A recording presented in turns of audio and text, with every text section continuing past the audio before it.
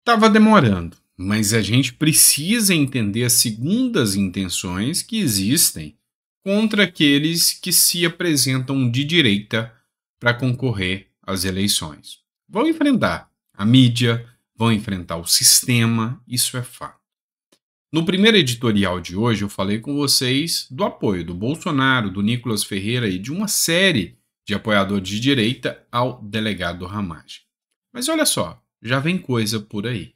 Matéria que foi divulgada na UOL. Polícia Federal investiga se a ABIN produziu dossiês sobre adversários de Bolsonaro.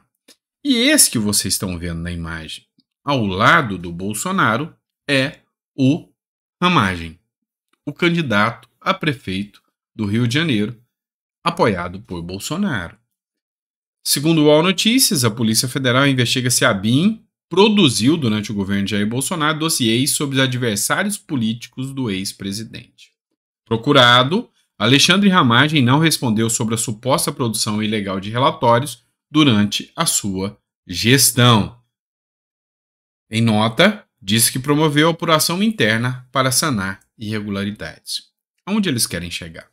Vamos primeiro entender como se chegou ao ramagem. A eleição para o Rio ainda é muito incerta. E aí, o Eduardo Paes ele quer concorrer e quer estar na disputa para a prefeitura do Rio de Janeiro. E aí, quando foi feita uma primeira pesquisa de intenção de votos, o nome que estava bombando era Braga Neto. Pois é, havia a suposição que o Braga Neto seria candidato a, a prefeito pela direita.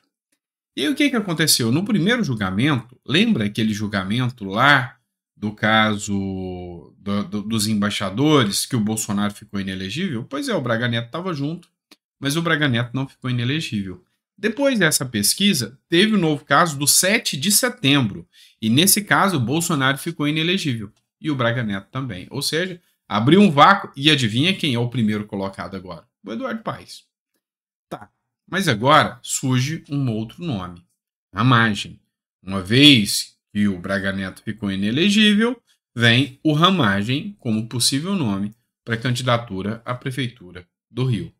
E essa historinha de que a BIM investigou isso ou aquilo vai chegar no Ramagem, que pode perder o mandato ou pode ficar inelegível também. Vai vendo. Espera para ver o resultado de tudo isso. E aí, a gente já começa a assustar sobre como será o pleito eleitoral já em 2024. Se vai ter tanta interferência ou não. É possível. É bastante possível que haja uma interferência muito grande. Essa historinha da, da questão da investigação da PF, que a BIM monitorou adversários políticos, eu digo que é uma balela, por quê? Porque o Lula teve a BIM, que é independente, dentro do seu governo, investigando e fazendo escutas telefônicas a ministros do STF. E o mesmo cara que foi afastado na época por ter feito essas escutas, hoje volta para a BIM. Na gestão Lula, foi indicado para a BIM de novo. Ou seja, dois pesos e duas medidas, por que, que o governo Lula vai lá, investiga, é, faz espionagem, faz escuta telefônica contra o STF e tá tudo bem. Lula volta para a presidência e ainda traz o cara de novo. E aí, no caso do Bolsonaro, não, agora nós vamos pegar essa turma, tem mandato de prisão, tem muita coisa acontecendo. Então, na minha visão, eu acho que um dos alvos dessa situação toda é o Ramagem. Bora falar de grana, né? Vamos falar de imposto, vamos falar de socialismo, vamos falar do que você quiser interpretar aqui. Olha só o que diz essa matéria da revista Oeste. O secretário da Reforma Tributária defende a taxação do patrimônio, tá? Superior a 8% em caso de imposto de herança. Eu lembro que uma das minhas especialidades é holding familiar, tá? planejamento sucessório, dentre outras. Foi o que eu estudei bastante. E eu lembro que meu professor sempre me falava: olha, o intuito do governo Lula sempre foi chegar na taxação de impostos de 20% ou mais. Já tem projeto, já tem plano. Ou seja, a cada é, herança que precisa ser feito, 20% fica para o governo. Então presta atenção só para você ter noção. Tá? Você vai, trabalha. Do seu trabalho, 27% de tudo que você produz, 27,5%, vai para o governo através do imposto de renda. E aí, trabalhando, já paga imposto para o governo, 27,5% fica para o governo, para você poder construir as coisas. Aí você constrói o patrimônio. E aí, a hora que você morre, 20% vai para o governo. Esse é o sonho socialista. Presta atenção, como que funciona hoje?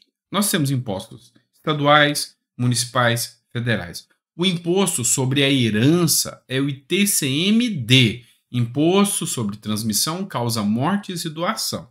Esse imposto é dos estados. E ele tem uma alíquota variável, tá? Então cada estado pode escolher até 8%. O limite máximo é 8%. Só que o secretário da reforma tributária defende extrapolar os 8%. Pois é. Então, se você trabalhou a sua vida inteira e conseguiu juntar um milhão de reais, no dia que você for passar o seu patrimônio para os seus herdeiros, no dia que você passar dessa para melhor, 80 mil é cascalho do governo imediatamente. 8%. É o máximo. Só que a defesa do Haddad e do secretário, Bernardo App, tá? Bernardo App, secretário extraordinário da reforma tributária, defendeu uma taxação maior para o imposto do ITCMD, que atua sobre as heranças. Ele faz a declaração nessa terça-feira: o imposto sobre transmissão causa mortes tem teto atual de 8%. E aí ele fala o seguinte: até acho que não deveria ser uma alíquota maior, mas não vejo o Congresso Nacional discutindo isso agora, disse o secretário em entrevista ao site. Então ele acha que tinha que ser maior na ideia do governo Lula, já tinha sido defendido 20% de taxação lá nos primórdios, lá atrás, ah, em 2006, alguma coisa assim, já tinha sido discutido esse assunto. Pois é, nosso medo é voltar isso aí, né? Vamos lá. Outra coisa que a gente precisa discutir aqui e eu achei interessante é Ricardo Salles, tá? O Mário Frias fez a publicação, você está vendo a tela preta aqui, mas é porque tem um, um, um vídeo de uma entrevista do Ricardo Salles na CNN, numa discussão com o Boulos, ambos agora concorrendo já como pré-candidatos à prefeitura de São Paulo, e o Mário Frias declarou apoio ao Ricardo Salles, tá? E diz que Salles é o melhor para São Paulo. O Mário Frias escreveu o seguinte: Ricardo Salles assumiu um ministério tão desafiador quanto o que eu assumi. Ele enfrentou as máfias que há muito tempo estavam infiltradas nessa área, combatendo-as com determinação. Sempre foi leal ao presidente Bolsonaro, o que fortalece a sua candidatura. Reconheço nele liderança, competência e a capacidade de enfrentar os desafios complexos. Acredito que Ricardo Salles tem o potencial de trazer a sua experiência e comprometimento para a gestão da cidade de São Paulo, buscando soluções inovadoras, promovendo o progresso da região. Ricardo Salles, meu irmão, conte comigo, será uma honra poder apoiar um cara íntegro, competente e honesto. E aí o Ricardo Salles respondeu aqui, muito obrigado, meu amigo, estamos juntos com o nosso presidente Jair Messias Bolsonaro, nada de oportunistas, você é bravo guerreiro. O que, que a gente tem para dizer aqui? O PL, eu estou vendo um racha acontecendo, o PL tenta emplacar a ideia do Ricardo Nunes. O Bolsonaro já sinalizou para o Ricardo Salles, falou, ó, quero que o Ricardo Salles vá bem. Mas não falou, eu apoio o Ricardo Salles para não entrar em conflito com o PL, tá? Com o Partido Liberal. Mas o Salles já veio e emplacou. E aí, a turma inteira do PL já falou, por exemplo, o próprio Mário Frias, estou com o Ricardo Salles. Então, o Nicolas Ferreira, dentre outros, falou: não, que partido que? Eu vou é com quem é, é, é de direita mesmo, é patriota mesmo, e nós vamos é com ele. Ou seja, vai ter um racha, e nesse racha aqui, a chance de todo mundo que é da direita vir para o lado do Ricardo Salles é grande. Ou seja, vamos ver o que, é que vai dar. Mas eu sei que o clima já está tenso para 2024. Hora que chegar perto das eleições, meu irmão, espera para ver a baderna que vai virar tudo isso, tá?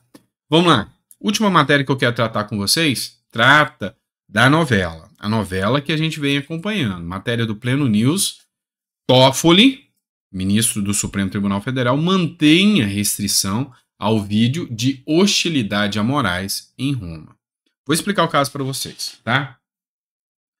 A PGR entrou com recurso. Você já sabe do caso da agressão do Alexandre de Moraes, não preciso nem é, repetir. Mas o que, é que acontece? Por cinco vezes, os, os acusados, né, os réus, pediram para ter acesso ao vídeo. O vídeo resolve tudo. Teve agressão? Não teve. É só a gente assistir o vídeo. E aí teve um relatório pífio da Polícia Federal dizendo que aparentemente teve alguma coisa, pode ser que teve uma agressão, enquanto que o relatório de, de da Itália foi muito claro. Olha, encostou levemente no óculos e nada mais. E aí, a defesa pediu por cinco vezes para ver o vídeo. O vídeo sanaria todo o problema. O Toffoli colocou em segredo e falou que só com um representante, um perito indicado pelas partes pode ir lá. Nem a própria parte, nem o próprio advogado vai poder ir lá ver o vídeo. Vai ter que ser um perito designado por eles. E aí, o, a PGR também fez um recurso contra a decisão do Toffoli. Sabe por quê? Porque o Toffoli colocou o Alexandre de Moraes na fase de inquérito ainda como assistente de acusação. Mas o Alexandre de Moraes é parte. Vamos começar porque esse processo não deveria estar no STF. É algo absurdo, é assustador o que está acontecendo na justiça brasileira. E o Toffoli manteve o sigilo. A impressão que nos passa é que eles querem esconder esse vídeo. E se esse vídeo for vazado, pode causar uma imagem muito ruim para o Alexandre de Moraes se esse vídeo não for aquilo que ele contou que era. Essa é a impressão que o brasileiro comum aqui de baixo, que não é um semideus, acredita. Não é?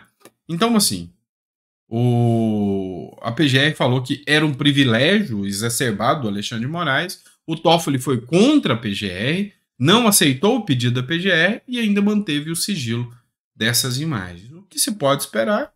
Não sei. Sei que é estranho pra caramba tudo isso, tá certo? É isso, pessoal. Dia de domingo, dia de sábado, né? Perdão, hoje eu tô perdido no tempo. Dia de sábado os vídeos são mais xoxos, tem menos tema acontecendo, tem que ser mais curto para você poder descansar.